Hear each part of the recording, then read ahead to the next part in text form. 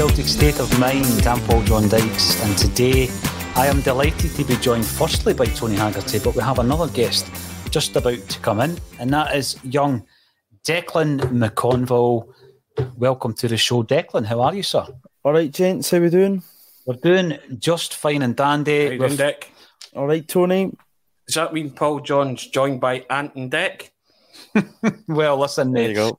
I like that because obviously one of them used to be called PJ when they were in the, the duo PJ and Duncan. If you want to go a wee bit further well, let's back. get ready to rumble. That's the Is one. that what you're saying? That's the one.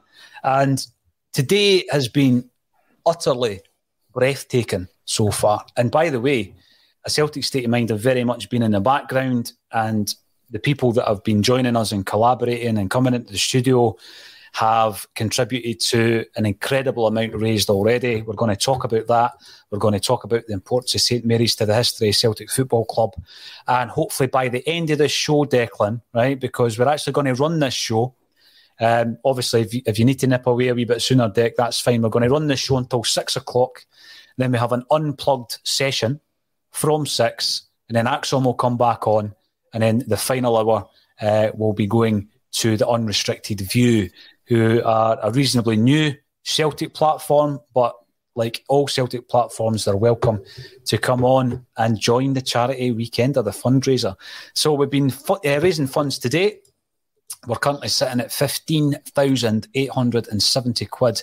Hopefully, by the end of this particular show, we can break the 16 grand mark. Um, our target was 10k. Uh, so obviously, we'll, we'll through that. Uh, but why not head for 20? Why not try and get 20k? If we finish the day at 16 or 17,000, it's looking doable. And by the way, that just it's breathtaking. It's a breathtaking amount um, for us to have raised uh, collectively with everybody that's been involved. Now, Declan, you might be looking at the headline here thinking, what on earth are you talking about? Well, uh, we've had so many Celtic platforms on already. Uh, we'll have many, many more coming on um, tomorrow. So we thought we would just uh, have a wee walk down memory lane. Some of the stories that are going to be told will be coming from Tony and his uh, 20 odd year career of talking to footballers and probably turning every story into a Celtic story. Um, if you could, Tony, and there's a few in there. But let's start. I'm going to come to you, Dec. I know that for one so young, you have a real passion in the history of Celtic Football Club. Talk to me about the importance of St Mary's to Celtic. Yeah, well, for past number of years, I've been going to the uh, the anniversary mass at St Mary's. I was there at the start of November, um, and it's always a, a nice event to kind of you know St Mary's obviously in the shadows of Celtic Park. It's been an ever present fixture in the shadows of Celtic Park, you know, our old ground for, for many years now. And um, yeah, it's the spiritual home of Celtic Football Club. As much as we all go along to Celtic Park and support the team there, St Mary's is where it all begun in uh, 1887 under under Brother Wilfred. So it's a very important part of Celtic history. If you're you're passing by, you know, any time you can go in for a wander about. There's the the lovely mural that's obviously part of that ACSOM badge that we use at the, the very front door, and you know the spirit of Celtic's in there too. I was there, you know, only last week for for Bertie Auld's funeral, joined by some football royalty and Celtic's legends past and present. And um, yeah, it's still it's still Celtic spiritual home, you know, 130 year plus after the formation of the football club, and it's very important that you know as long as there's a there's a Celtic that there is a, a St Mary's in the Calton. Yeah, absolutely uh, agree with that. Now, the saddest part of this is that we're having to raise the money for St Mary's. That's always the saddest part of any kind of charity endeavour is that there is that need. But wherever there is a need, we as Celtic fans collectively are able to, to fill it. And we've proved that. Uh, we only announced that it was going to be St Mary's kind of midweek. Uh, there's a whole lot of things you need to try and do before you can make that announcement, engaging with the, the beneficiary and making sure that before you make that announcement, everybody that needs informed has been informed, that you've met the person, that you've spoken to them, that it's all been broken down as to where the funds are going. So I think it was Wednesday or Thursday before we got the opportunity, um, although the idea and the concept had been in our mind for several months. Uh, so it just shows you the power of the Celtic fan base that we are able to be sitting here looking to break through the 16k barrier at some point during this show. We're going to be on, as I say, until six o'clock. Um, the people that have been getting involved in the comment section, thank you so much for getting involved. Um, you know, it's one of these things. We're on for 12 hours today and tomorrow. You can, you know, tap in and out of the content. Um, it's a wee bit more varied this year.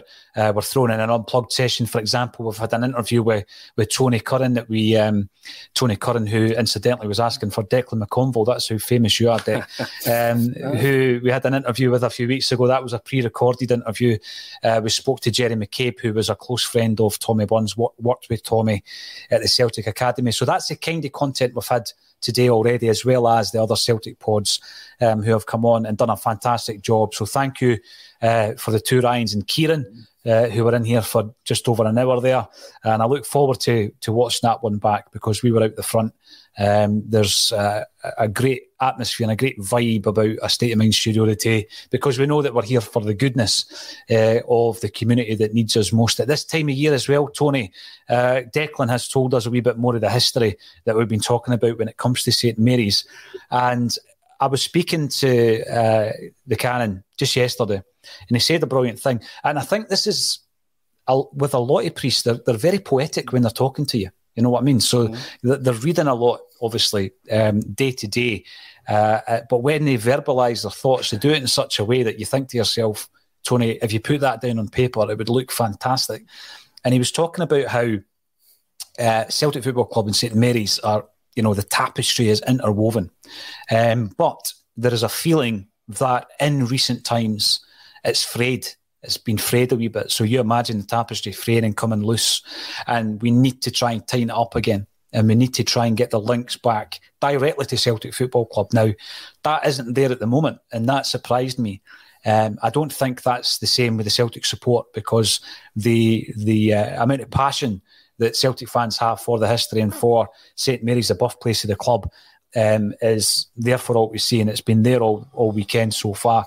But I think that hopefully we can kickstart something off, Tony, that we can continue with uh, on ACSOM. Other Celtic fans can get involved in, and hopefully long term, the future of St Mary's uh, will be a lot brighter than it is at the moment because they are struggling financially. Yeah, I wrote something on the group chat this morning, and I'm going to read it out because I think it's kind of this is why we're doing this today. That we're having a charity weekender, and I wrote to all the guys if you know your history, today is all about preserving the very foundation of our football club. Celtic Park will always be our spiritual football home and the place where all our football hearts lie. Today we fight to make sure Celtic's birthplace will never become a paradise lost. Today we represent everything that is great about Celtic Football Club. Today we will let our very own primal scream be heard on the pod. Today we raise money for those less fortunate. Today we hope to give others dreams and songs to sing moving forward. Today we really are representing a community and a cause. Today shows why this club is in our DNA. Today shows why we have a Celtic state of mind. Today truly is what it means to be Celtic. And today these two parishes will know that they will never walk alone. Being a Celtic supporter is not always easy, but it is always worthwhile. Days like today make it all worthwhile.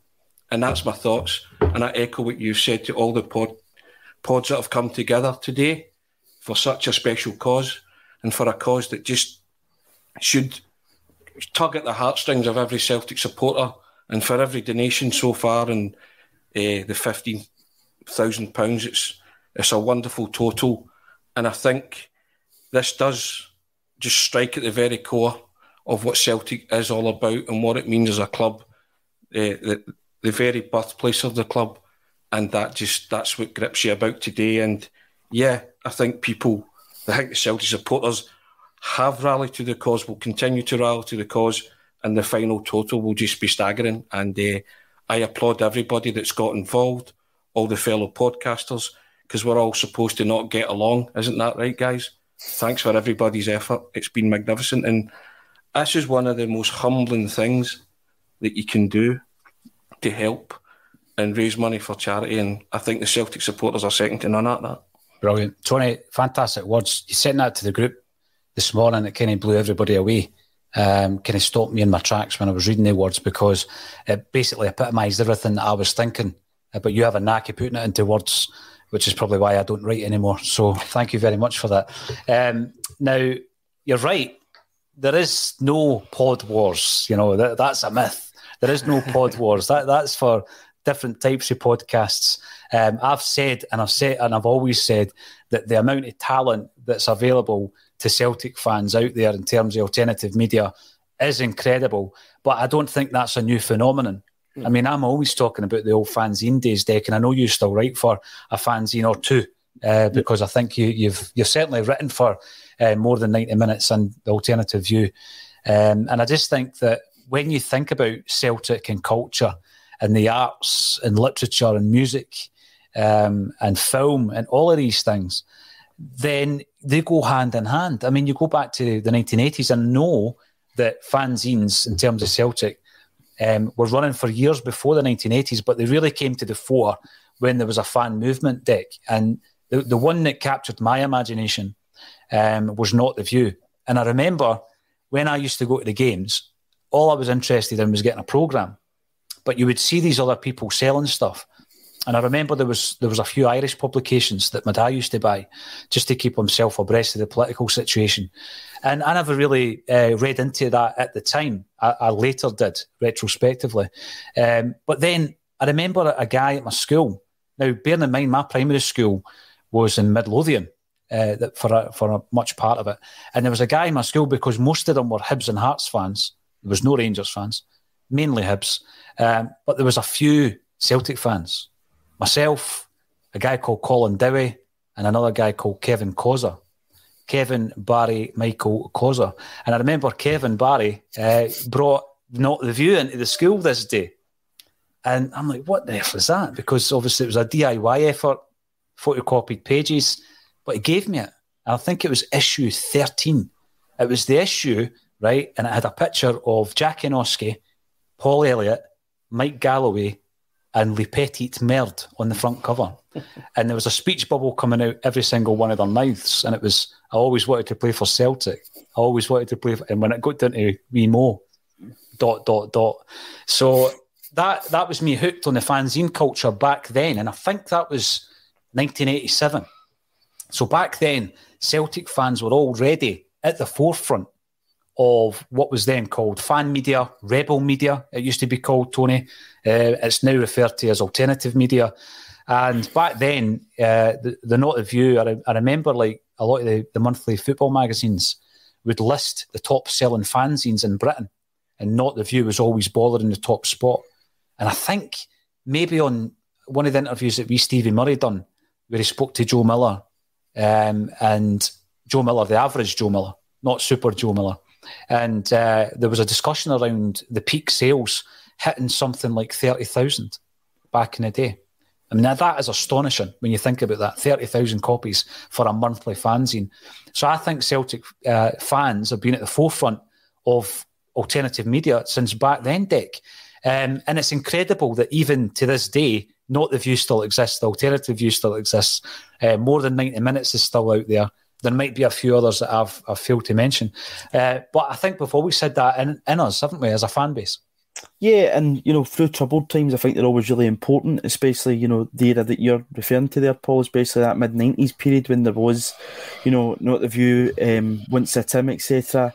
Out because these were important to hold the board to account. We didn't have social media, we didn't have podcasts at the time, and it was important for Celtic fans to, you know, not pick up the the mainstream media at times. It was always going to probably paint Celtic in a bad light. Um, it was better to get the real fans' perspective. And as you touched on I still write in, you know, the alternative view magazine. That is what we try and be as a, an alternative view um, to the Celtic view, uh, especially when that's, you know, if you look at the, the downfall of the Celtic view recently, it's I think it's now coming out every three or four months now. So it shows that the market is changing. But you know, certainly from our perspective at the alternative view, there's definitely still a want for um, a fanzine out there. People still regularly buy the, the fanzine at the match.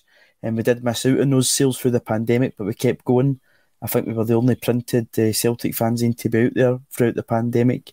And um, we did have a you know few play about words with uh, stuff like you're, you're talking about. I mean, I think our last issue we've got Big Ange in the front, we've got Struthmate and Where's Gavin's laptop? Has anybody found Ryan Christie's balls, etc.? So um, Matt still imaginative as ever uh, with the front covers, and we're still going. So I think our next issue about just before uh, Christmas, I think we're planning on it being out next week, and as per usual, it's packed with a lot of um, good writers, good stories, and an alternative view in Celtic Football Club at this point in time. What I love about it, what I love about the fanzine uh, kind of culture, and you do get. I mean, listen, the last eighteen months, it's been. I'm not going to say doom and gloom. It's been all very serious uh, in the world of Celtic, uh, but you do get the humour. You you do get that. You know the humorous side of the Celtic fan base, and Tony, I always think back about self-deprecating humour. Uh, we were having a wee chat about it today and how, you know, I think it shows a lot about somebody when they can actually, you know, um, take the mickey out themselves. And it kind of shows that, you know, there isn't the ego there or uh, the elitist attitude that, you know what, I'm not perfect, but that's fine. We're not perfect as a football club, and that's fine as well. But we are going to tell you what's wrong with the club. And I think that has always existed within the Celtic fan base. Oh, without doubt, self deprecation is the way forward. always has been a I like to take the mic out myself a lot because there's a lot to take the Michael out of, you know. So I uh, I uh, I embrace self-deprecation in the club, and especially a lot of talented writers have always been on point with stuff like that. The Not the View was a staple during the the troubled times of the nineties. It really was. Remember the You Are the Ref? Yeah, You Are the Ref. I, I, brought that up the other week, and it was and it was brilliant. You had a football scenario and they had an A, B, C, or D, and D was always book Paul Elliott, which I mean that was just that was just genius, right? Because I think Paul Elliott picked up a record sixteen bookings in the spin, I believe. Uh, Paul Elliott will tell you himself. Uh, but yeah, you know stuff like that. I mean that that's genius, you know. It's and uh, and they were always there, always sharp to the point where the Green Brigade as well. You know, there might be some guys there and some banners and stuff are really clever. Their, their humour has always been on point. It's never missed the target if it's humorous, and and that's kind of and it's kind of gone from the manifestation of the the mags, the alternative view. Declan's still there, giving his humour in the alternative view. Or do you, Declan? Do you give us your humour in the alternative view? I hope that comes out as well when you're writing. Uh, you know, and it's uh, there's a lot, a lot of clever people that do that write for these kind of publications, uh, and you know they let's let everything else. Football's meant to be fun. Even when you lose, you can still poke fun at your football team, but you can also have that serious side and say, well, here is an alternative view of what's happening. And uh, yeah, long may that continue because it's it's it's one of the things that Celtic supporters do well. They shine a light on things like today with the charity, but mm-hmm. they also shine a light in the deficiencies at the club, and they also shine a light on the good things that the club do too. But they all they always, always, always do it in a humorous way. See the thing as well, though, when you think about the not the view is what they did for me as a a young kid growing up was they educated me, Tony. Yeah. And they educated me politically, but they also educated me in relation to what was happening at my football club. Because at that age, all you're interested in is the football you want to read about Paul McStay. You know, I used to read Shoot, Match, Roy the Rovers, The Celtic View, and Not the View. And like that, you are the ref thing. That was a take. That was a parody mm. of something that was in the shoot. Yeah. Where there was a scenario, and what do you do as the referee? And it gave you the options, and it was like a quiz. And at the end, it would show you. But not if you had like that had a spin on it, and it was D book Paul Elliott. No matter what happened, let's book Paul Elliott. And and that's funny, isn't it? Nothing much has changed, is it? really. Yeah. Book a Celtic player. Um, so I think when we're talking about fanzines, it's important to note how pivotal they were in the changes that eventually happened at Celtic. How important that street movement was with regards to save ourselves, Celts for change, Fergus McCann, the takeover. I mean, it's all interlinked uh, because they were educating the Celtic fans in what was happening at the club. They were talking, I mean, you look at issue one, you're not the view, uh, because Jim Orr very kindly gave me all the back issues a few years back. Uh, because over the over the years with house moves and etc., all my old ones had gone, and I remember reading it, issue one, and they were talking about Celtic becoming a PLC, and I'm I'm reading this as a young guy, thinking, what is that? Why would we want to do that? Then they start explaining to you about the dynasty and how there's an ineptitude in terms of business acumen within the club. And then Was what that- then happens Was is that the Mingin dynasty you're talking about? Yeah. yes. And then and then what happens is the Taylor report happens a few years later. And everything catches up with Celtic, and the modernisation of football overtook Celtic, and we didn't have the vision within the club to actually withstand that. Meanwhile, our greatest rivals at that time did. They had the stadium, they bought the players, and they went on a, a run in nine league titles in a row as a result of that. So, in terms of media, and this wasn't part of the discussion points, by the way, but we're just going to run with it today. In terms of alternative media, I think Celtic have always been at the forefront, and I think this weekend shows that we are still very healthy as a fan base when it comes to producing content. Now, one of the finest, exam- finest examples recently, and you were involved in this deck, unsurprisingly, was uh, all right. There's a president of Albania. Let's do an interview with him. You know, now that wasn't a mainstream channel. That wasn't a big media company. That was a couple of fanzines, Declan, that organised that. Am I right? Yeah, yeah, it was um, ourselves and more than ninety minutes. Big Millish was there too, and um, we got a good uh, interview out of El Presidente. He was talking to us about uh, Celtic versus Partizan Tirana in nineteen seventy nine. He remembers that it was a big event in Albania at the time, um, because of you know Albania being under communism at the time. He said there wasn't a lot of entertainment in the TV, and um, he remembers this being a big event. They didn't usually show any sports in television, and then he watched it and then years later down the line, his um, his friend Rudi Vata ends up at Celtic Park. He, he kept in touch with uh, with Rudi through that, and um, you know Rudi obviously everybody knows about Rudi and um, especially that famous goal against Rangers. And you know ever since then he's been a Celtic fan. And he was on a a um, a presidential visit to uh, Bosnia, and that's when he bumped into Celtic supporters in uh, 2018, 2019, would that be 2018? 20, 2019, sorry. And um, you know, so the kind of white hoops went over. He said, "I am going to to greet them on behalf of the people of Albania for Rudi Vata. I will I will greet the, the Celtic supporters." And and that was it. And then we were actually leaving the hotel. He was sitting having a chat with uh, Albi Ajeti. Obviously, Albi, I think, was born of uh, born either in Albania but plays for Switzerland due to parents. But yeah, you know, another one of the Celtic fan media just going out there, whereas I think Celtic just didn't want to really publicise it because obviously there's a political background to it. But um, yeah, something a bit surreal. Didn't think I'd meet a head of state before I was 25, but hey ho, there we were. And then we're interviewing a Hollywood superstar in Glasgow, Tony, and who's he asking for?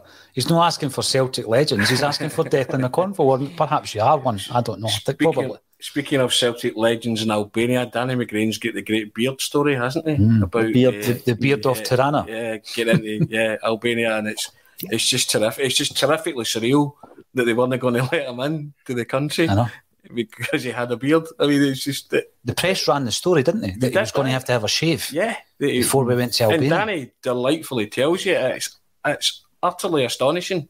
You know, in 1979, you know, as Declan said, and uh, yeah, and it's it's it's comedically surreal. You know, football story. It's brilliant. It's it's fantastic. You, you're not getting into a country. Why? Because you have facial hair. It's just it's astonishing that, isn't it? Really, when you think about it. No, it is. And uh, he also had the nickname Barabbas, didn't he? He did indeed. Uh, but I did ask, I remember many, many moons ago, I do remember speaking to Rudi Vata. Uh, Rudi, of course, whose son is tearing it up um, at a, an underage level for Celtic at the moment, and he's played for the B team as well. Um, now capped under 19, I think, for the Republic of Ireland deck through his, his mother's mother, I believe, Yep. from Dublin. Um, so it's tremendous to see him. I'm a bit concerned actually about Rocco because he's the guy that's uh, tearing it up at the moment, and we've lost a lot of talent before they've actually played for the first team. Declan, what can we do as a football club to prevent that from happening with Rocco Vata? I think it's about creating that, that pathway that I think, you know, Ange is, you know, making for some guys at this point in time, Paul. Um, you know, the other night, obviously, another Celtic Youth Academy products coming on at the park. And Adam Montgomery, um, I was listening to the, the boys for Celtic the Thunder before I was coming on, talking about Michael Johnston. Still very young. I know a lot of Celtic fans probably, you know, at this point in time just don't think he's going to cut the grade, but it's about, you know, getting the opportunities and uh, been handed the opportunities. something which you know wasn't the case last season. I think a lot of us forgot that, that Tony Ralston was only 22 last season, and from you know what I watched last season, um, I think Tony Ralston, and not just watching this season, you know, he came in in that game against Livingston. Remember, um, you know, very completely decimated by numbers, and you know, played a, a game. Uh, played far better in the game than I ever saw in Jonjoe Kenny in a Celtic jersey. So it's about creating a pathway for Celtic players and not just, you know, relying on the markets and, and giving youth a chance at Celtic Park. Um, if John Lennon can sing Give Peace a Chance, Big Ange needs to give youth a chance at Celtic Park. Listen, I wouldn't pass. I wouldn't put anything past Ange Postecoglou. I think what he's done. Um, there's a podcast in itself on the players that he's rejuvenated. I mean, we mentioned three of them regularly on the show. Ralston, the aforementioned Ralston, uh, Bitton, I think, has been rejuvenated as a midfield player, uh, and also Big Tommy Rogic, who again the other night showed that when we have him on the park, there's a different dimension to our, our uh, attack and play, brings a creativity. He can unlock the defence. We, I mean, Declan, you spoke really well fairly recently. You, you were making all the links between Ange um, and Puskas and Hungarian football. And, you know, you, you were looking at that. We went right back to the 1954 World Cup um, with regards to you know Jock Stein being absolutely mesmerised by the Hungarian side back then. What was ever going to uh, unlock the doorbolt or catenaccio as it was called and it was it was the fast entertaining rip roaring football Tony um, so so I think that when, when, we're looking at Ange and what he can do um, at Celtic uh, and the players that he is using and utilising at Celtic, it's that type of player that can unlock the doorbolt. You know, the team that unlocked the Catenaccio was the Lisbon Lions. And for me, absolutely love it. Um, yes, from time to time, like the other night, it's a hearts and mouth moment. Two minutes from the end, if Hearts almost score, but they didn't, as Tony reminded us, and that's that's hundred percent right. Same with Aberdeen. Uh, Juranovic clears one off the line. The argument is, well, as a defender, should he not be doing that? Absolutely, we won the game. We won the game and we came away with maximum points. And it is, it's exciting again uh, to watch Celtic. Uh, absolutely. And he's bringing in players who give you that entertainment and excitement. And again, we were talking about humour. David Kelly, uh, having looked at our tagline, uh, says Valderrama, Elton, and Donati look different from how I remember them. I'm not sure which one I am out of the three. Um, I was always a fan, I've got to say, I was always a fan of Donati. I thought he was a cultured player. He was one of these guys that um, seemed to fall out of favour with Gordon Strachan. And there was like long periods of time, like he did with a lot of players, Strachan seemed to fall out of the player, make his mind up about him. Derek Riordan, Tommy Gravesen, Massimo Donati, and others. And they, they basically just wouldn't get a game. But I remember when Tony Mowbray came in, and for a very short period of time, Donati looked like a player again. He was always a player. I mean, at that time, I don't know if the record's been broken now. He had the record of Italian under 21 international caps. That shows you. I mean, I think AC Milan bought him for something like 12 million quid at one point. Um, and it looked as though Mowbray was getting a tune out of him, which was tremendous because we've just spoken about rejuvenating players. But what happened at that point? You'll remember he scores against Arsenal. Um, we had Arsenal in, the, in Europe that season. He scored against Arsenal away. It was in the away leg, I think. Um, and shortly afterwards, we sell him. Mm. And there was another move similar to that. A player that Mowbray had brought in. Remember Danny Fox? Yeah. So we bring Danny Fox. He ended up getting a cap or two for Scotland, I think. Brought him in, and then we sold him pretty quickly. You know, before the season was. So we brought him in and sold him in the same season for a profit. And what actually happened there was that annoyed Mowbray because he wanted to keep Danny Fox. But the power brokers at Celtic were happy to make, what was it, 500 grand profit on a player. So they saw that as good business sense. But the problem is, you've lost your left back and you're having to get Edson Braafheid in on one. Mm. You know, similarly with Donati, he was sold without Mowbray's consent. Now, I don't know, Tony, if you ever spoke to Tony Mowbray about this, but Donati was sold from under the nose of Tony Mowbray. He wanted to keep him. The club sold him. And I think at that stage, Mowbray himself realised the game's up here. You know, how on earth can I progress when I'm getting a tune out of a player but because there's a half decent offer on the table, the club are going to sell him. It's not like we were struggling for cash at the time. Um, but the reason Donati's on there is because, Tony, you're going to give us your own special memories of Massimo Donati. Yeah, the headline is basically I wanted to do something a wee bit different uh, today and just sort of let people into some anecdotal stories from my, my time. Well, still a journalist, obviously, but the Massimo Donati one's just uh, incredible. I, I was asked, I we'd heard, I was working at the record at the time and we'd heard that Massimo Donati was going to sign for Celtic. So I got in touch with his agent, a guy called Andrea D'Amico, on the Monday, and he said, No, don't know where you're hearing that from. And then the Tuesday that had kind of changed, and he said, Maybe, a definite maybe. But by the Friday, the trail had gone cold. And then Jim Traynor came to me on the Friday night and said, just before I left on the Friday night, and said, Anything happening with Donati? And I'm like, No. And he was like, Hmm, you might want to check that out. I just thought, okay, left on the Friday night, half five, got up the road at six, went to my one of my local boozers in East Kilbride, the Bonnie Prince Charlie Bar, and it's about half eight, and I'm about six or seven Southern Comfort and lemonades in. So it's beginning to annoy me, and I thought, I'm going to phone Andrea D'Amico to see if anything this is happening. This, no, it was nipping away at the back of my head. So I've punched the number in and they get the foreign ringtone. And I've said, Hello, Andrea. And to my utter astonishment, you talk about manna from heaven. Andrea D'Amico says, Yes, Peter, I have faxed the details. Three million pounds is the transfer fee. Massimo Donati transferred to Celtic from AC Milan for three million. Did you receive the fax? and I'm like, okay and I've and I've just clicked into gear and I've went, eh, Andrea, it's Tony Haggerty, and then all of a sudden I got, I no speak the English, and the phone went dead. So I phoned Jim Traynor, and I've said, Massimo Donati signing for Celtic, three million quid, four year deal, I believe. He's like, How do you know this? And I have told him the set of circumstances. He's killing himself laughing and he says to me, Where are you? I says, I'm in the Bonnie Prince Charlie Bar in East Kilbride. And he says, No more drink, because you're going to have to file this. he says, Are you near your house? And I'm like, Nowhere near my house. and he says, Can you? I, said, I'll go on the phone. He says, I'll phone you back.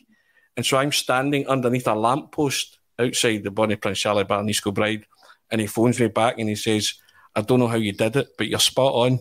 He says, But your punishment for that, and because I got the story stood up, is my name first. So it's an exclusive by Jim Traynor and Anthony Haggerty, and that's how it appeared in the record the next day. I'm standing under a lamppost. Massimo Donati last night clinched a sensational three million pound move to Celtic from AC Milan. You know the the under twenty one internationalist or with most caps, all that. It was one spot for twelve million. Uh, filed it, and uh, Traynor phoned me back and said, "Did you file it?" I said, "Yeah." He says, where are you now? I says, I'm getting drunk. He's like, okay, you've earned it. And uh, sure enough, it appeared the next day in the back page uh, by Jim Traynor and Anthony Haggerty that Massimo Donati had signed for Celtic for three million quid. And a, an astonishing set of journalistic circumstances where he clearly thought that the mobile ringtone from Britain was Peter Lawwell getting in touch. I just, I, I, you could, you could not write that, could you? But eventually I did have to. But you it. make your own luck, Tony. You made the phone call. I, I, it was the it was the warning, no more drink, that, that had me killing myself laughing. You know, it's just uh, I thought that was that was uh, typical of Jim Traynor, but he, he, had a point to be fair. So, but yeah, and that was my Massimo Donati story. like, what, what's your memories, Deco Donati? I mean, I always think of uh, players who had the undoubted talent, but their time at Celtic was quite fleeting.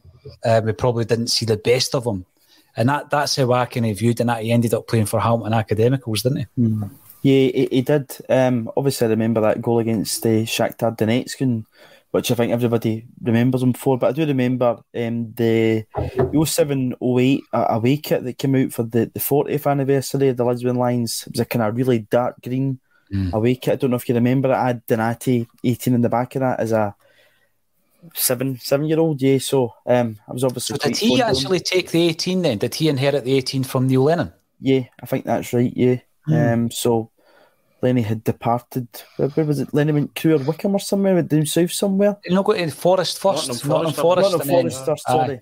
Yeah. Yep. Uh, so I remember Lenny's last game at Celtic Park, and I think you know the next season Donati's came in and taking the, the 18 right away. But yeah, I had that in the back of the jersey, so I must have been quite fond of him. But um, yeah, as you mentioned there, Paul, you know he scored down at the, the Emirates, or I know you still call it Highbury, um, but the the home game at Celtic Park that night, I think my old man's still gutted because instead of getting to see U2 at Hampden, they opted for Celtic versus Arsenal at Celtic Park and we get gubbed. I think that was the 360 tour at Hampden when the stage rotated right round mm-hmm. the whole uh, stadium.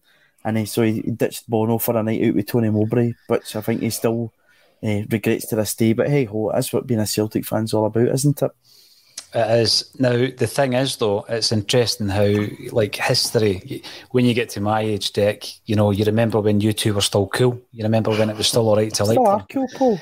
Uh, well, cool. you know, this is the thing. I mean, I, I've said it a few times on here. I, the first time I went to a gig was to see U2 at Celtic Park. So it was almost perfect. They were a band that were omnipresent in my house, uh, you know, Joshua Tree, Rattle and Hum. That was the kind of albums my old man listened to. And then I got into them. Achtung Baby was the album that blew me away. By the time they played at Celtic Park in 1993, it was the Zoo TV tour. So they had released or were about to release Zooropa. And we went and we watched them. And it was incredible because it was an, an absolute spectacle. It wasn't just there's a band on the stage running through a set. The entertainment value was incredible uh, the big screens, the live satellite um, to Sarajevo. Eh, you know, Bono coming on dressed up as MacPhisto, who was this kind of devil like character. Alter ego. Aye, an alter ego. And, you know, he's phoning like world leaders and all that uh, to try and tell them how to run the country and uh, stop oppressing other nations and stuff like that. So back then, you know, he ticked all the boxes for a, a left wing Celtic supporter, as I was. And the music was brilliant. I mean, Achtung Baby regardless of what you think of U2 now, if you listen to that album in isolation, Tony, I don't know what your relationship has been with U2, but you listen to that album, Achtung Baby, it's unbelievable. To this day, I was listening to it on my way through the studio this morning. There's a lyric in one of the songs. In my dreams, I was drowning my sorrows, but my sorrows they learned to swim. Yep. You know, yeah, stuff like that. Music with uh, songs with words you know, and that grips you, you know, when you're old enough to appreciate the uh, breathtaking writing like that. And they played Saturday and Sunday night uh, at Celtic Park. Uh, I was at both because they feature prominently in my life. Uh, one of my first gigs was uh, U2 at the SEC just after they'd released Joshua, the Joshua Tree, and it was an astonishing uh, concert as well. Seen them many times, and yeah, that's uh, it's a big band in my life as it's a big band in your life and Declan's. I know Declan's a big fan. Uh, I continue to be a fan, and uh, yeah, I mean the, there are so many U2 highlights you could pick out, but yeah, just a, a phenomenal band. Uh, and yeah, you can argue the toss about you know the political side to them, but that that's what gave them their edge, wasn't it? You know, so uh, pardon yeah. pun. Yeah, well, yeah, exactly. In fact, I didn't, didn't mean that, yeah. But you know, I think I think lots of people of our generation and obviously Declan's have had a U2 phase in their life. Yeah, definitely. I mean, I, I think back really, really fondly to that. And I remember that the support bands the night I went, because I, I'm just going to name drop here. that's all right. I've already name dropped Declan. It's not as big as that, but I'm going to name drop. Uh, I was chatting to James Allen of Las Vegas recently when he came to play the festival in Dalkeith that we covered. And we were talking about the fact, Tony, that they played the two nights. I think I went on the Sunday. I would need to dig the ticket out. I'm, I'm sure it was a Sunday, but what James was saying is that the, the support bands were different on mm. the hmm. two nights. But I remember who supported them. It was the Stereo MCs and the Utah Saints yep. the night I went.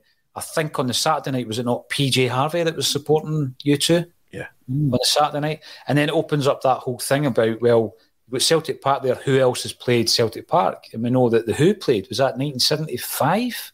Was it 75? 75, 76. It's the Who put the boot in tour.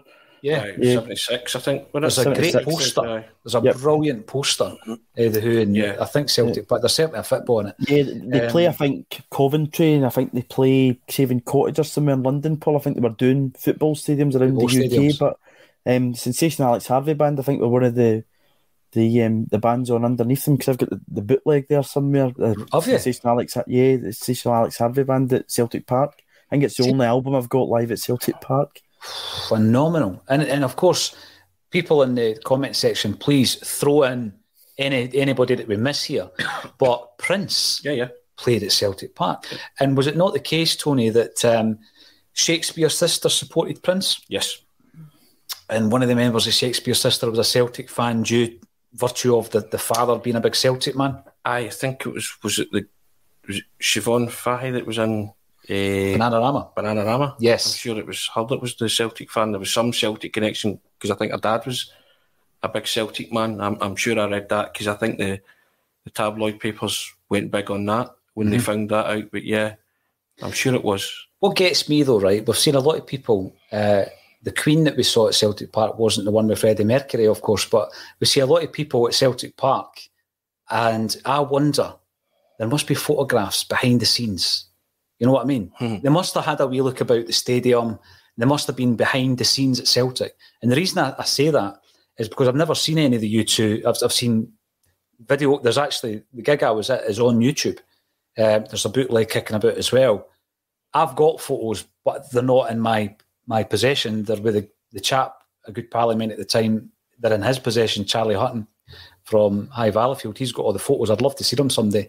But there must be images of like Bono and the Edge and Larry and, and Adam in Celtic Park, Tony. You know, maybe getting shown around the, yeah. the boardroom or, or the, the trophy room.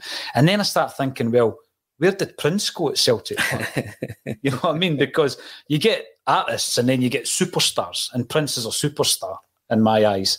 And he must have been hanging about Celtic Park. I'd love to see pictures of that. I'm glad Prince didn't play the old Celtic Park when he like where's the, the facilities and you're standing against a brick wall. You know what I mean? And imagine telling Prince, you know, this is this well, is welcome to the jungle. Welcome yes. to the jungle. We, have got fun and games, you know. So uh, yeah, yeah. I mean, the, you would have to think that there would be some images of of these things kicking about, but who would have them? You know, you would love to unearth uh, those to see to see what they actually thought because it's a it's a cracking stadium arena, isn't it, to play? I would have thought it is. The reason I ask actually is because um, someone sent me a message recently, and it got me thinking about the time that the Wolf Tones visited Celtic Park, mm. and there's obviously a story in this because they eventually recorded a video, yeah, uh, a, a promo video in the stadium wearing the centenary top. And I remember watching that thinking that could never have been agreed. It was a Celtic Symphony video. It was the Celtic Symphony. They could never have agreed to that. Celtic could never have agreed to that. But then what happened was images started filtering out of the Wolf Tones getting a wee tour of the stadium. So there's pictures of like Tom Grant, the, the director at the time, with the Wolf Tones. They're, they're at the dressing room door and a youth player's coming out to speak to them. It was a guy called Declan Roach the Irish lad that we had at the time. So he obviously was aware of the band. And obviously, controversial uh, as it was, it shows that the band had a wee walk around the park. And I just think, you know, it would be really smart if there were images of U2 or, or Prince or indeed Shakespears Sister, of The Who, actually in the dressing rooms and all this kind of stuff. There's brilliant images of Frankie Miller in the Celtic dressing room with, with Jinky and Tommy Burns deck. Uh, and every so often they pop up as well. Uh, obviously Frankie being a, a, huge Celtic fan and a good pal of Jinky. But that's the reason why Massimo Donati is on the headline. And uh, what I'm going to say to everybody in the, the comment section, thank you very much for getting involved. Um, we opened the the fundraising uh, GoFundMe page just a matter of days ago. I'm on it just now. It's telling me that it was created three days ago, right? And we currently have 15,940. 10 grand of that um, isn't counted on the GoFundMe page because it's been given as a donation um, directly.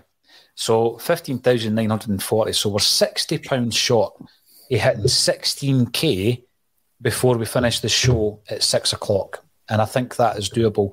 And for everybody that's given any amount, uh, and by the way, for anyone who's also given us auction items, because we're going to run an auction, it's just that it's not live yet. But after the charity weekend, there's going to be one week where I think we've got about 30 auction items, 90% of which were given to us and gifted to us over the last week or so. Kevin Tate at the penalty spot gave us eight. I was going to say half a dozen, but he came back today with another couple items. In fact, he's given us nine items to auction off. Unbelievable. Uh, and that just shows you the power of the, the Celtic fan base because I think that um, you know, we can argue and debate and disagree, Declan, but when the chips are down, we can pull together as well.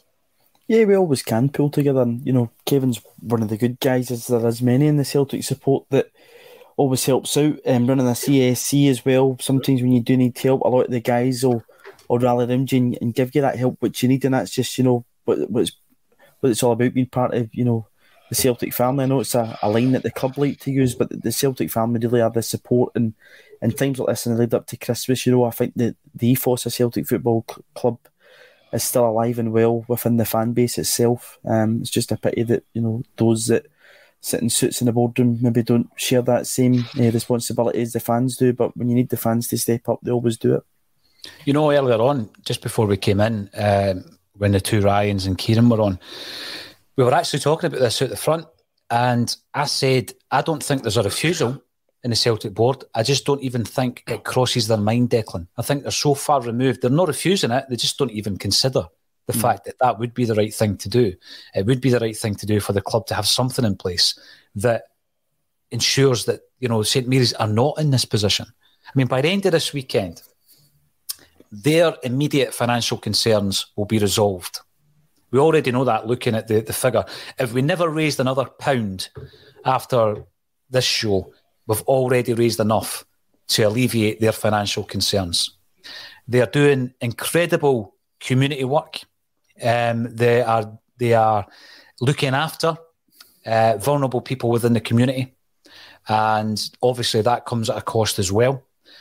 And I just think that basically this would have spiraled out of control, and this is just the immediate concerns. You then look at, well, what happens in three to six months if, for example, the financial situation doesn't improve? Well, potentially they'll be back in the same situation again. So, in time, I hope that we as Celtic fans and obviously as a platform, the comment section is always there for suggestions or on social media, that we, we are able to um, structure something where this doesn't happen again. And, you know, if we can do that, and we can all chip in our time and money and effort, I'm sure the Celtic fan base can do what should already be getting done. What I was going to say to anybody who's in the comment section is please, if you've got anything at all that you want to pitch to us or any questions, any burning questions you wish to ask anybody on here, be that Valderrama, Elton John, or Massimo Donati, then ask the question. Um, and it would be absolutely tremendous if you could ask us within reason, anything goes. And we will answer as many questions as you possibly can get through in the next 30 or 40 minutes. Um, I was thinking back there to the 80s when the Wolf Tones sneaked in or were invited into Celtic Park. And I was thinking about all the the players who I would have loved to have seen at Celtic Park around about that time. I've got my own favourites. I've spoken about them time and time again on the podcast. Those players that you kind of thought they're they have a Celtic state of mind. I'd love to see them in the hoops. Now, by the way, it was different times back then, Declan. Before I say the first one, I always wanted Pat Nevin to sign for Celtic. I always thought mm-hmm. Nevin, you know, both at Chelsea and at Everton, was a Celtic player. You know, he had that Celtic state of mind at the time and he was a, an entertaining player, and I would have loved to have seen him in the hoops. Um, I used to think Kevin Gallagher at Dundee United, because of his links, obviously his family links um, to the club through Patsy Gallagher, should have ended up at Celtic. It didn't happen. Jim McLean probably didn't want to. Jim McLean didn't. Let me think. There was a there was a obviously the Duncan Ferguson deal from Dundee United to Rangers you, you can correct me if I'm wrong here, Tony. That was a bit of a watershed moment because he tended to sell the player like Gough. He wouldn't sell Gough to Rangers, but he would sell him to Spurs. Yeah, and then a year later, he Yeah. come back to.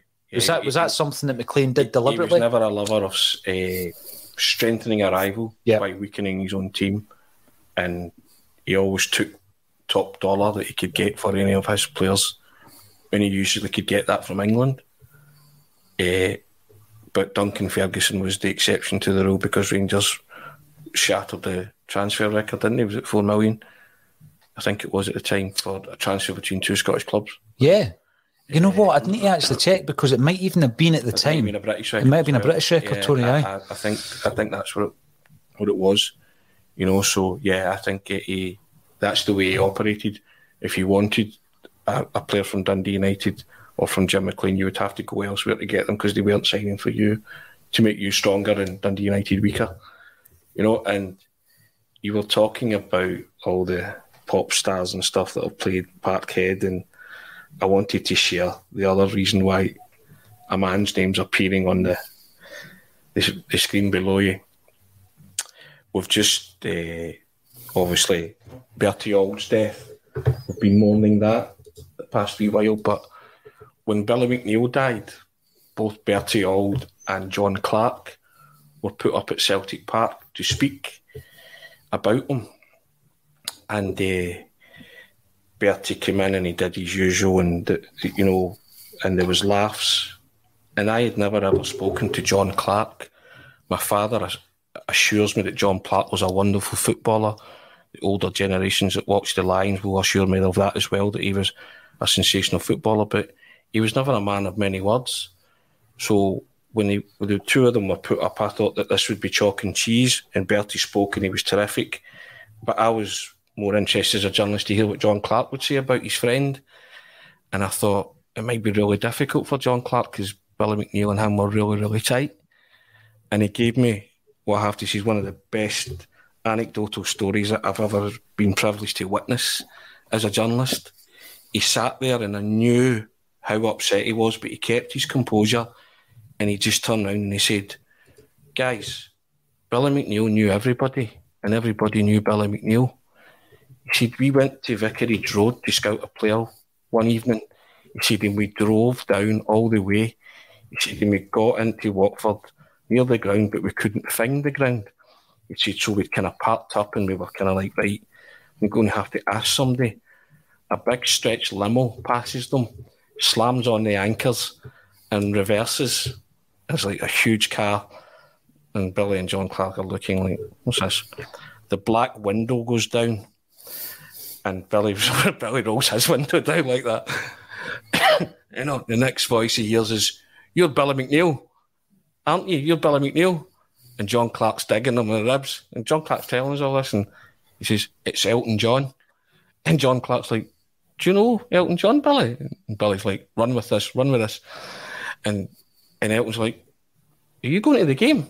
And they're like, Yeah. And he's like, We don't know where the stadium is. And he's like, Oh, follow me. So he shouts to the driver, Right, drive on. And they follow him. Elton John's got his own private car park of private space. They follow him in.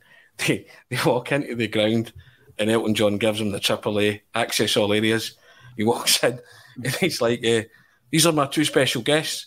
And it's like Mr. Billy McNeill, Mr. John Clark, and they're like, "Oh yeah, there's tickets there." And he grabs the envelope. "They don't need tickets." You know, he's like, "That's their ticket." You know, he's like, "I'll explain later." Walks up the stairs. They get the full royalty treatment, and he said that they were there to scout a player, but Elton John had positioned himself in the director's box in the middle of the two of them. And the whole game, he just sort of said, I can't believe I'm with Billy, uh, Billy McNeill and, and John Clark, two Lisbon Lions. And he rabbited the whole time about the Lisbon Lions, that Celtic team. And John Clark said he was very, very knowledgeable and he was brilliant.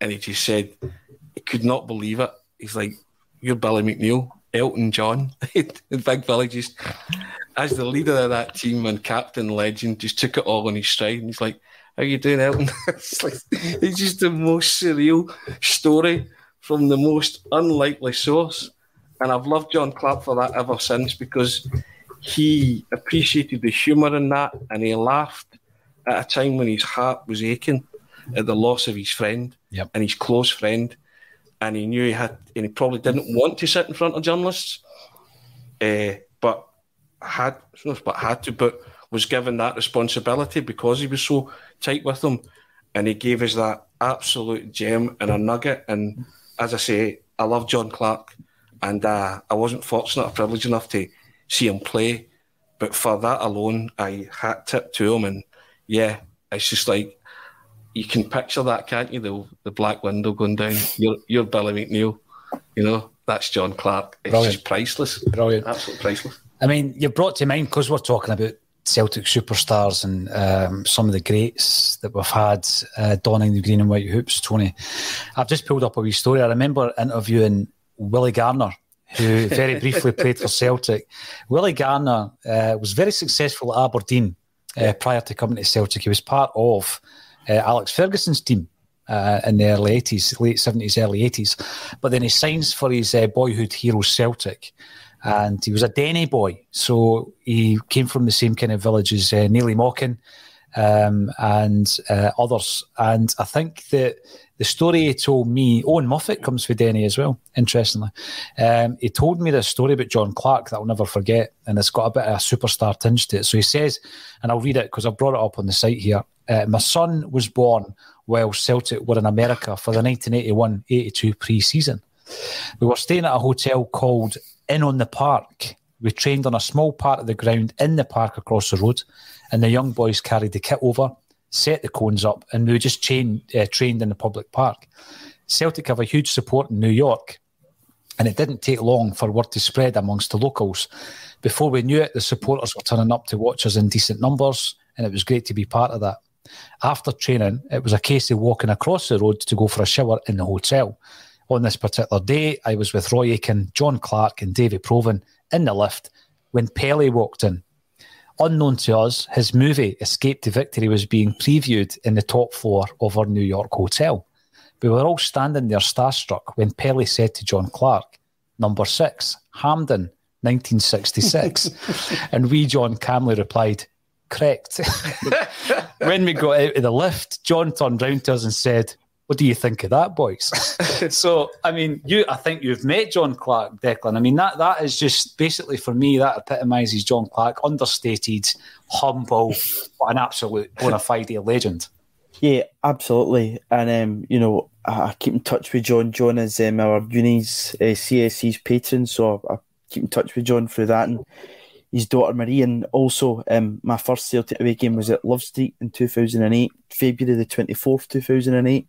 Shunsuke Nakamura scored a 87th, 88th uh, minute winner, a free kick for about 30 odd yards, and it was John that got the tickets. Um, my cousin went to school with John's granddaughter, and Clark has sorted out our tickets for that game. So I need to thank John for um, my first Celtic away game and kind of starting at love affair with the old away games, which I still go to regularly now. But to add to that story, um, Betty's funeral last week, Evan Williams, I was chatting to Evan and Evan's got a house over in, in, Portugal and goes over there quite regularly, likes golf, Evan, and stuff. This was about 15, 20 years ago. He said he was on a course and a gentleman came up to him and he says to Evan, he says, I know you. And Evan says to the gentleman, he says, I know you too. And it turned out to be Eusebio. And um, Evan didn't play, I don't think, in that, that 69 quarter final. John Fallon did play in goals for Celtic.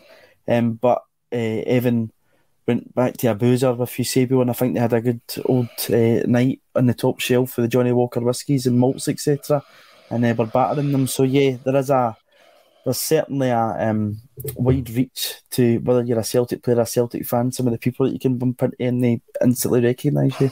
Oh, definitely. It's all about name dropping the day, right? So we apologise in advance. I'm going to drop another name, Kevin Graham. There you go. The soon to be published poet Kevin Graham. Uh, find him on Twitter at a Northern Prose. And he speaks about Bob Marley. So Kevin visited Nine Mile in Jamaica and Bob's grave. Had a hoops top on. Surprise, surprise, Kev. Did you also have green gazelles on, mate? Was told by a number of guides that this was Bob's team. And there's a picture of him in a 1978 kit. I remember uh, the Dixie Dean story. Yeah. And we were uh, with a guy called, because as I say, I'm apologising in advance about the name dropping. We were with Simon Weir, who's an actor, very good actor, big Celtic fan. and he spotted Dixie Deans and he wanted to ask him about Bob Marley. So he went over and he was talking to to Dixie about Bob Marley, and of course the story goes that when Dixie Deans was playing in Australia, kind of like at the tail end of his career, uh, there was a gig out there. Bob Marley was playing a gig. Dixie went to it, spoke to him after the, the game, and Bob Marley spoke about the Lisbon Lions. He could recite them. Um, and I, what then happened was I was watching the, the, the Bob Marley documentary, brilliant documentary, and as most documentaries do, there's a massive photo archive, and they'll go through all the photos and they'll turn them into moving images and colorize them, and it's a big part of the documentary making.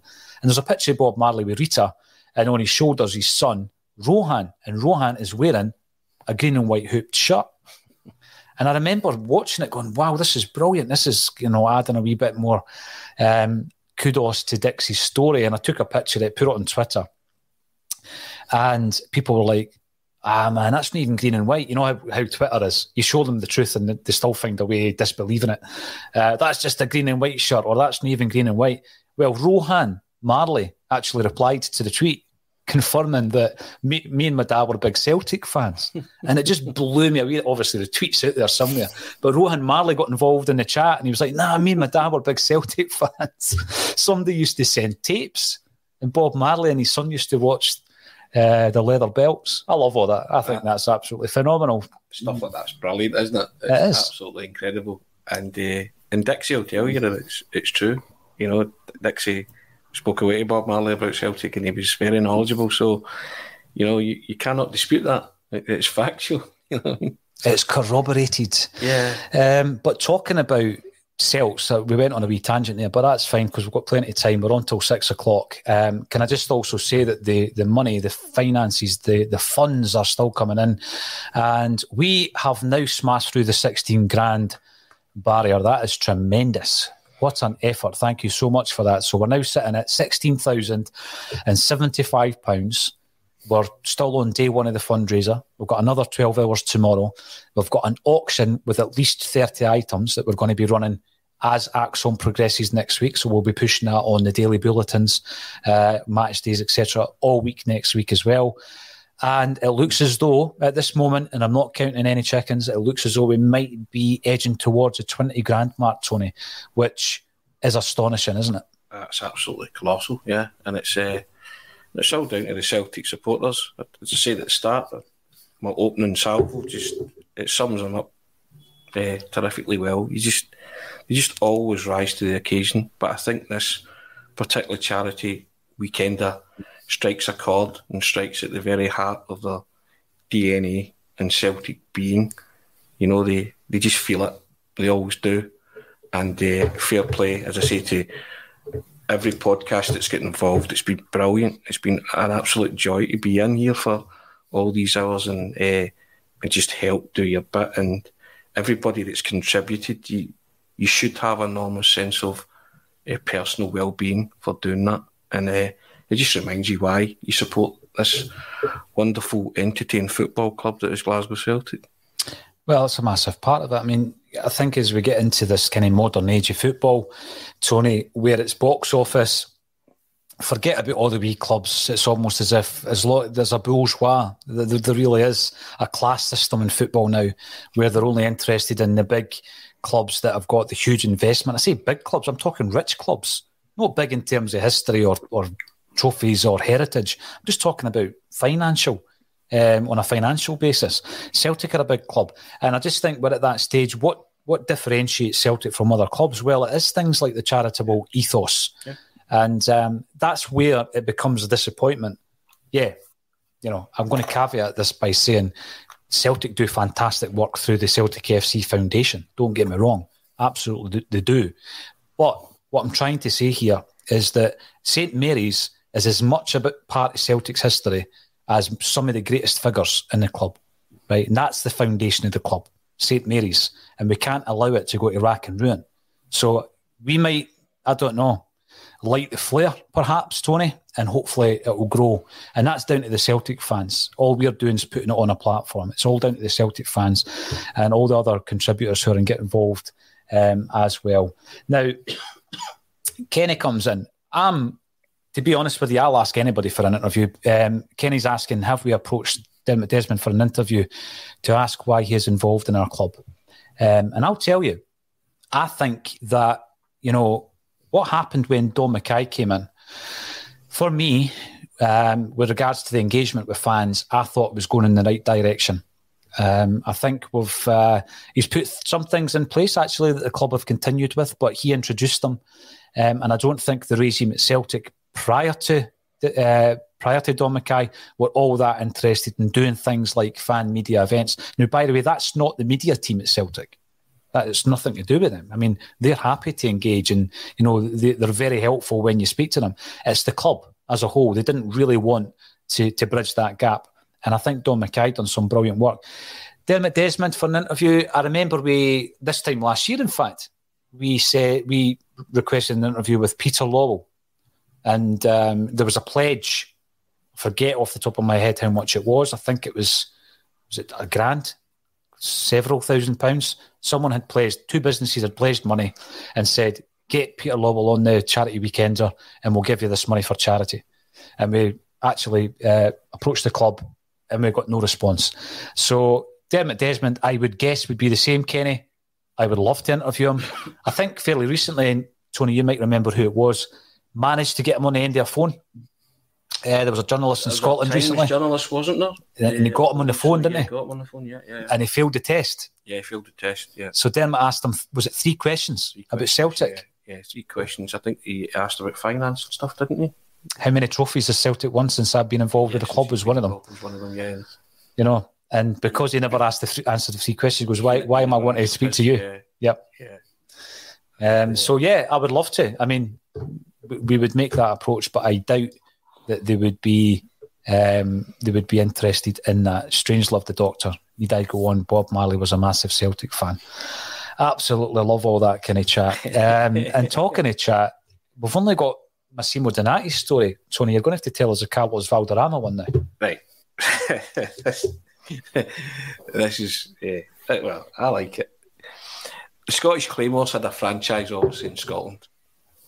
Every March, when they were in Scotland, they would have a, a what they called a, a training camp, and it was always in Florida. So I think it was it was either ninety nine or two thousand. I'm sure it was one of those years. They have their usual training camp, and I'm looking if there's any football connection. Maybe Carlos Valderrama's playing for Tampa Bay Mutiny. Anna from heaven. I phoned Tampa Bay Mutiny press office and we agree to go and see Carlos Valderrama uh, on the way. We arrive on a Monday, we agree to go to the, the ground on a, on a Wednesday. And I've met three South American footballers uh, in my life. Well, I've met probably more, but I've spoken to three Diego, Armando, Pele, and Carlos Valderrama. So as trebles go, it's no bad. It's not bad. As my profession has allowed me that honour and privilege, and I never lose sight of that. It's just it's, it's astonishing. I always say, going back to self deprecating, I'm just a wee guy from East Kilbride, a wee specky guy from East Kilbride, right? So there you go. So we head out to Tampa Bay Mutiny's ground on a Wednesday, do the Claymores thing, and then we, we go out and we meet the we meet the press officer and he greets us like long lost friends and he says, Tony, he says, there's only one slight problem. I says, Oh yeah. Says, Carlos Valderrama does not speak any English. I says, Does anyone speak uh, Spanish or Portuguese? And he says, oh, we'll get somebody, we'll, we'll get there. So Carlos Valderrama comes out. He's got the hair, the moustache, just the Carlos Valderrama, you know. I showed you the picture off here, right? I'm standing next to Carlos Valderrama. And he greets us like, oh, he's friends, brothers, family. And it's really just surreal. You're standing next to like football royalty, as Declan referred earlier, you know. So we sit down, and what happens, I can only describe it for those of an older vintage. Monty Python's Hungarian, free dirty Hungarian phrase book. My hovercraft is full of eels starts to take place because some guy who's meant to be a translator just I don't know what he's saying to him, and Carlos Valderrama's just sitting there smiling, nodding, and just genuinely happy. I think he thinks we're autograph hunters, to be honest. You know what I mean? And, it, it's excruciating for about fifteen minutes, and So out of utter desperation, you know, your spidey sense kicks in. I say, Carlos, me, point to my chest, Celtic Glasgow. And he, he just looks at me and he says, Celtic Glasgow. So I turn to the boys and I say, Would you like to sign for Celtic Glasgow? And he just goes, Celtic Glasgow. And I've turned to the guys and I went, That's as good as answer as any as we're going to get. Carlos Valderrama last night never refused to rule out a move to Celtic. I phoned my editor and I've, he's cleared a thousand word space in the paper for this. And I've said, and his name's Gordon Waddle, and I can still hear his incredulous laughter down the phone. no, that kind of laugh. And he says, Are you sure? I said, I'll get something out of it. it's just like, and I, to this day, I think there was myself and a couple other journalists here. I think we all fashioned a thousand words out of four words that Valderrama said, and the phrase that he repeated was Celtic Glasgow with thumbs up. And I killed myself laughing. It was a, a classic case of taking a seven iron to uh, something that uh, a foreign footballer had said. And I, and I used the words, he played for Tampa Bay Mutiny, and I just sort of said, well, just as well he never read the Scottish newspapers the very next day, because there would have been absolute mutiny in Tampa Bay the next day if he'd have been able to read them. But uh, yeah, it was one of those moments where we we had promised something, kind of delivered, but kind of not. But it's like ho hum, you know. It's uh, I I sit there and I I picture myself in my head looking across at Valderrama, and, and that, that privilege alone was great. And he he he sprung to life when we were taking pictures with him, and he had the pen out and stuff. And you know, it's moments like that where you just say to yourself, "Wow, that." This is where your occupation has taken you in mm. your life. And as I say, I, I, never take that for granted. That I'm always very humble and uh, speak with humility about it. It's it's just an absolute privilege, you know. And I uh, last year at this time, I released this. It's a book called "Going to Gives a Kick Your Ball Mister," and it's full of anecdotes and stories that I've kind of the ones that I've told here, I'm writing another book, which those ones will feature in, but this is the one I did before. And I said to you before I came on air, if anybody buys it, it's available on Amazon. It's five ninety nine, and if anybody wants to buy it over the charity weekender, Saturday, Sunday, Monday, I will donate all the proceeds to the weekender. Uh, as I say, you can get it on Amazon. It's called Going to Giza Kiki Obama, so it's five ninety nine. Fantastic, and uh, yeah, and that's the picture of me in the front with Diego Armando. Aye, just which, Diego. You that's know, and, and and and there is no blasé way you might seem black. I I pinch myself every day when I see that front cover. I just think it's it's just surreally brilliant, and you know, it's uh, there's a lot of self deprecation in there, and there's a lot of mentions of Celtic and fa- family and why I, I support the club. And if you like your football, you might like it. And I think a lot of ACSOM viewers, listeners bought it. And I say thank you for that. Uh, and if anyone else wants to buy it over the weekend, I'll gladly donate the money to to the Super. Uh, weekender. That's a great gesture. Thank you, Tony. Um, I went on a wee tangent again there. Sorry, guys, I never got to ask you the question about who you wanted to sign for Celtic. But uh, somebody comes in here, and I'm going to have to put this one up here because there we go. Michael McDonald. Michael says, always heard that Peter Beardsley trained at Parkhead uh, when in Scotland. Was this true? Wouldn't uh, would have been my dream signing. Michael, you're watching on YouTube. That's a great question because um, we did very, very early on in a Celtic state of mind, um, we interviewed. I don't know if you were in that that day, Dec. We were in Stirling at the toll booth where we used to record, and we interviewed Tom Grant. So Tom Grant comes along, and he was very open, very very open about a number of subjects. Mm-hmm. Never asked him about the Wolfe Tones actually. a, a, number of subjects. Spoke about the Mo Johnston transfer, everything else, and we spoke about the players that we almost signed. So before I throw this to you two guys, I'm going to tell you a couple of the stories based on that Peter Beardsley question there. So Celtic were indeed interested in buying Peter Beardsley from Liverpool. Now have a look at the timeline. He went from Liverpool to Everton. You'll remember for a fee of £1 million. And he went on the 5th of August, 1991. Right.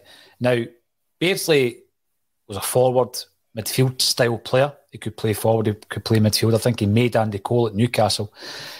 Who did we buy? Can anybody tell me who we spent £1.1 million on instead? Tony Cascarino. Yeah, right. And Tom Grant tells us this story because he's on the Celtic board at the time. And he tells us this story. And Kevin and I were just standing there absolutely stunned. Um, not with hindsight. Anybody that, that watched football in uh, the summer of 1991 could have told you that Peter Beardsley was the one to go for. But we went for Tony Cascarino. The other two that Tom Grant told us about was um, first one was Paul McGrath, and there was two opportunities for Celtic to sign Paul McGrath. The first time was under Billy McNeill, and the second time was um, under Liam Brady. Uh, obviously, they had played together with uh, the Republic of Ireland, and Celtic had gone down to uh, I think it was Manchester to sign Paul McGrath. Uh, Billy McNeill went, uh, Tom Grant went, and Neilly Mochan went and they were to meet Paul McGrath at a dinner. And Paul, because I don't think it was public at the time, he had a drink problem, he had an alcohol problem, and he got very, very drunk and he failed to sign. But uh, that for me would have been an absolute coup for Celtic. Mm. But the third one that he told us about was Steve Bruce.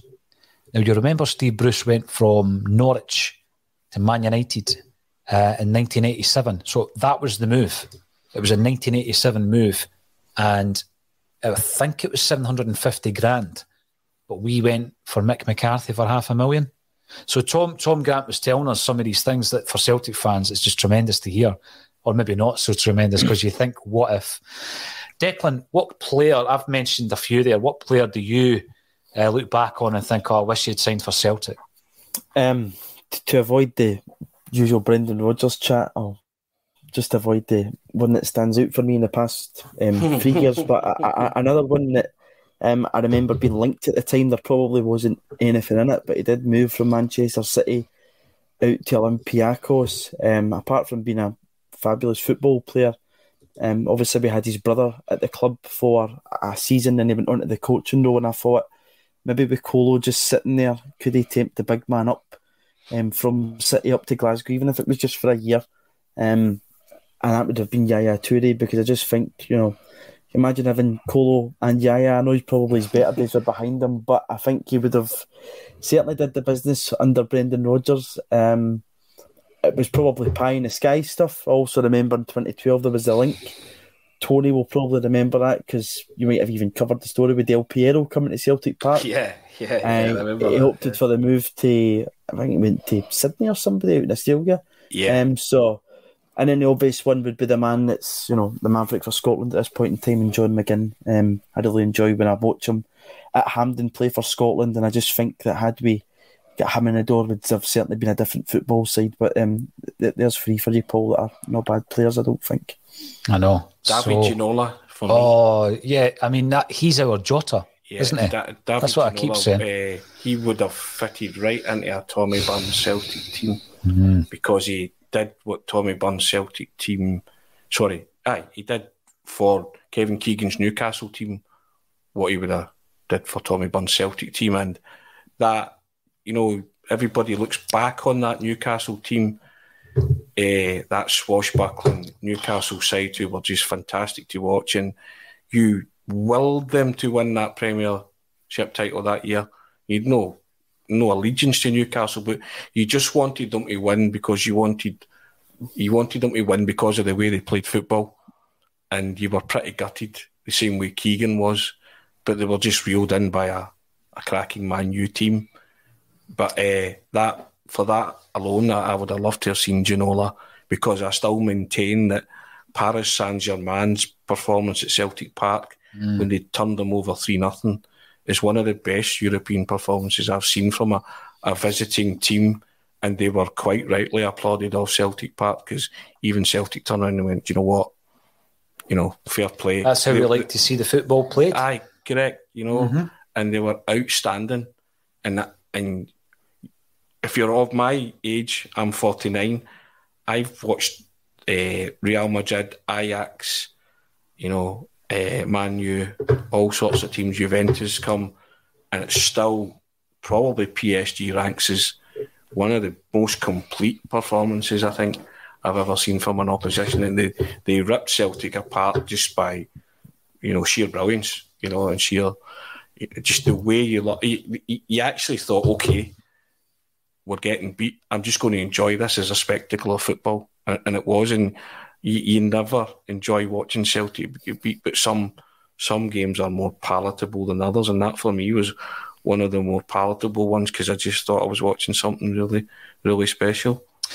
I remember the away leg, Tony. Yeah, uh, lost 1 0, and Van Hooijdonk lost the ball in the lights. Eh? Floodlights, yep, uh, skied it over the bar. And and you felt that Celtic had a chance. Mm-hmm. Coming back to Parkhead, you thought 1 0, great result. Oh my goodness, to get blown away, second leg. But yeah, I'd have loved, uh, I'd have loved, you know, like Celtic Park. I really would have. You know what? We're going to pick up on that subject because it's one of my favourite subjects at the moment the Ginola and Jota duality because Ginola had Les Ferdinand and we've got Giakoumakis. So I want to speak about that. We will be back after the next show, which is a wee break uh, from proceedings. We've had a few wee breaks where we've, we've put in some pre-produced content. So earlier on today, you will have watched, and if you haven't, check out the YouTube channel, an interview with Tony Curran, uh, who speaks fondly of Declan McConville, um, as well as other Celtic legends. Friends to the stars, Declan yeah, McConville. Friend to the stars, right. absolutely. um, and we've also uh, had an interview that was expertly done by Amy Canavan uh, with Gerry McCabe, who is basically one of these guys who has been involved in Scottish football for so long. Um, he was telling us when he was in the studio that he signed for Hibs in 1975 76. And this season was the first time since then that he hasn't done a pre season with a football club. Astonishing. So he's got loads of tale to tell. And uh, he was a close friend of Tommy Burns and he worked under Tommy at the academy. Uh, so he speaks fondly of the late, great Tommy Burns also. One of those that falls into the category of great players, and Gerry was a great player to never have one been capped for Scotland or, you know, got that big move.